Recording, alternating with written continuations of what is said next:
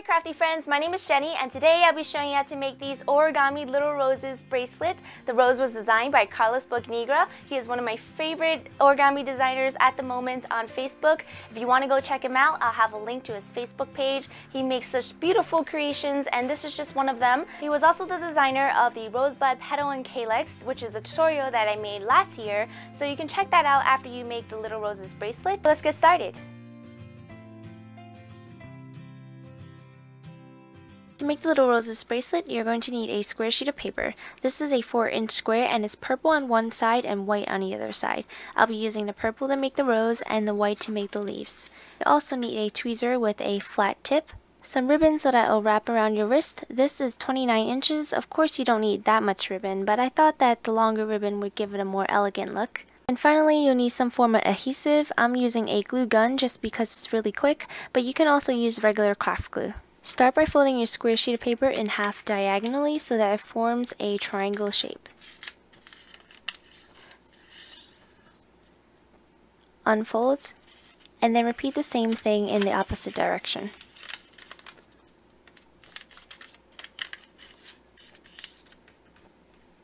Unfold, and then you want to fold the sheet of paper in half. Crease it in, unfold, and then repeat in the opposite direction.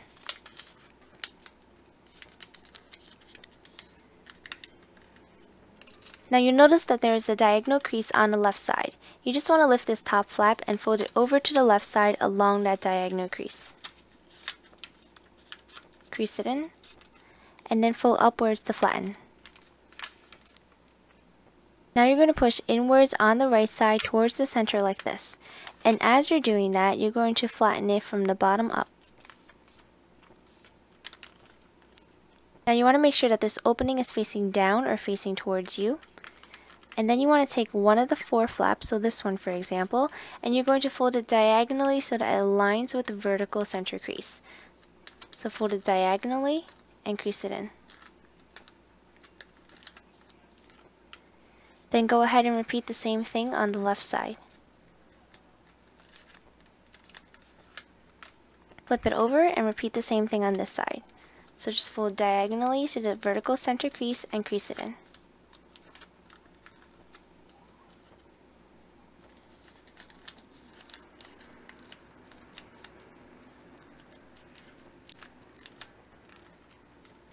Now you're going to unfold slightly these two flaps and then you're going to stick your finger into this opening right over here and with your opposite hand you're going to flatten like so. Then repeat the same thing on the left side. So stick your finger into this hole and then flatten.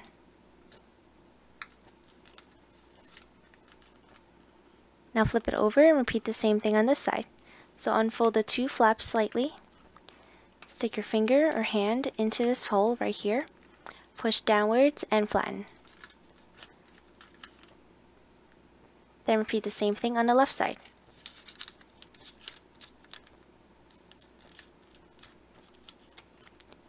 You'll notice that on these flaps there are two pieces. You're going to fold the right piece over here backwards like this.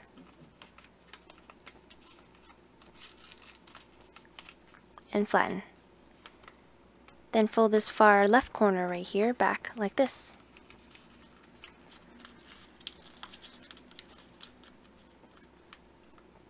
Flip it around and repeat the same thing.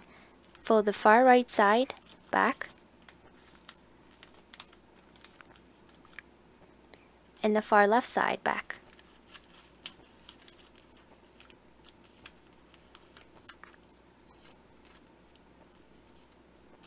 And now you should have something that looks like this. So then you're going to lift this top flap and you're going to fold it upwards as far as it will allow you to go.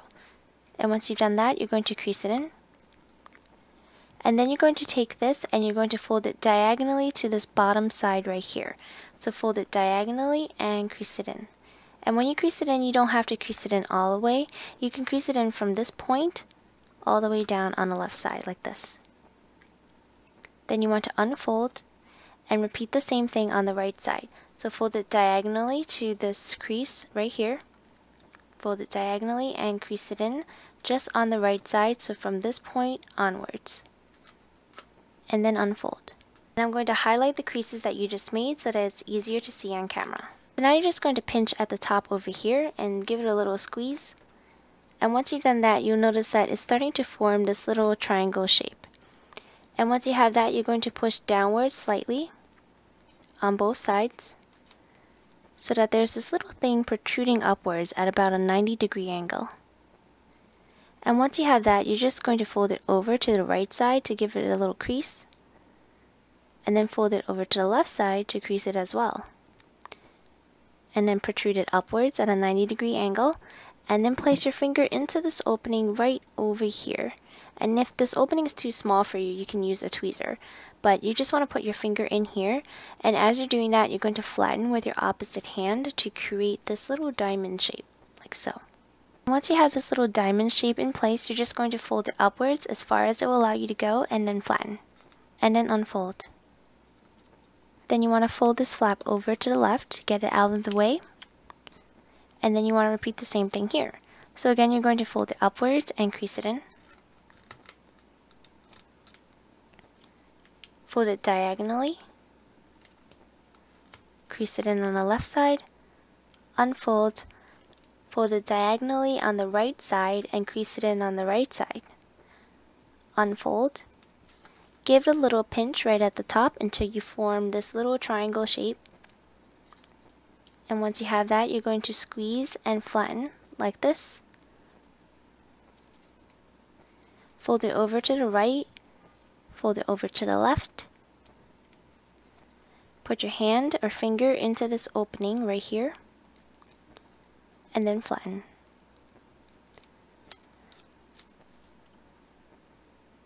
Then fold this upwards and crease it in. And unfold. Now you have two more that you need to do, so you're going to fold this over to get it out of the way. Fold it up.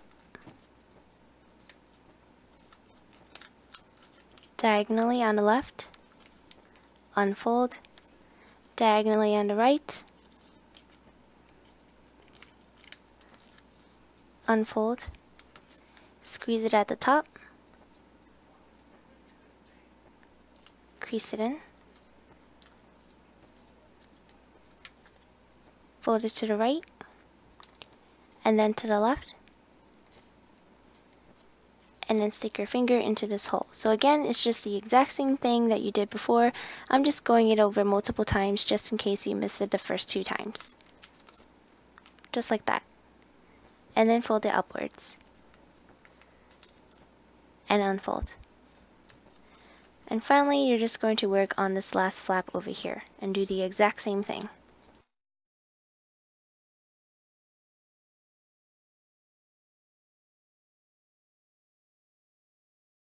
Once you have everything done, you're just going to flip it over to this side and you're going to spread out the flaps a little bit like this. And while you're doing that, you want to put these little spikes here downwards and spread them apart. So open it up and spread them apart. And then do the same thing to this one and also this one.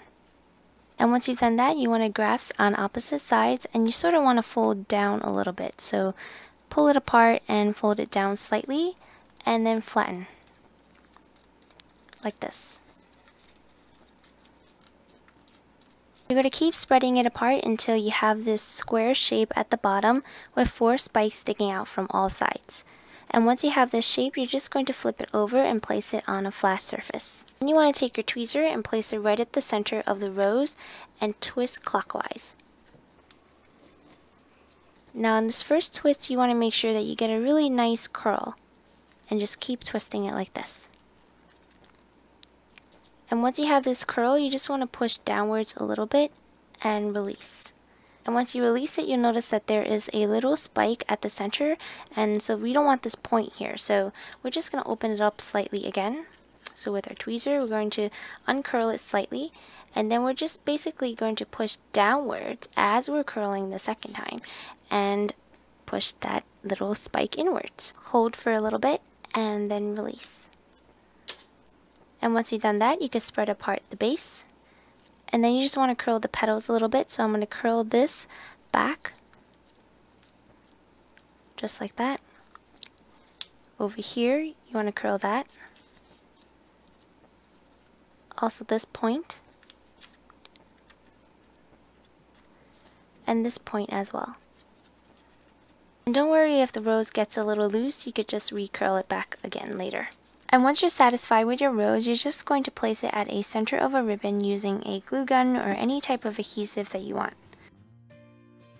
Then I'm going to take the completed bracelet and tie it around my wrist. And now your bracelet is complete.